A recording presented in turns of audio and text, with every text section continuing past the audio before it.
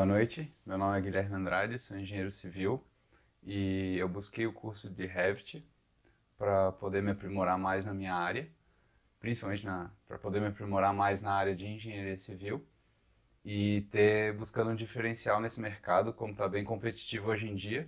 E a nossa atual situação, a gente tem que ter o diferencial.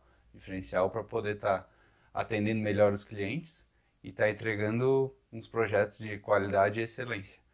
Então, para isso que eu tive buscando esse curso e realmente ele atendeu as minhas expectativas.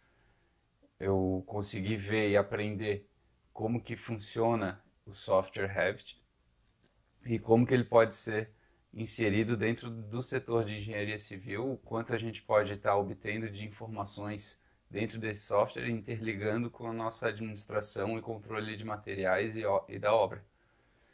Antes a gente estava trabalhando aqui muito, a gente trabalhou muito com software AutoCAD, né? E hoje com a utilização do Revit a gente consegue compatibilizar todos os projetos, conseguir ver onde tem alguma inconformidade ou alguma é, alguma interferência entre os projetos complementares, até mesmo entre o arquitetônico, e aí tendo os projetos mais precisos, diminuindo o nosso erro de, na hora da execução.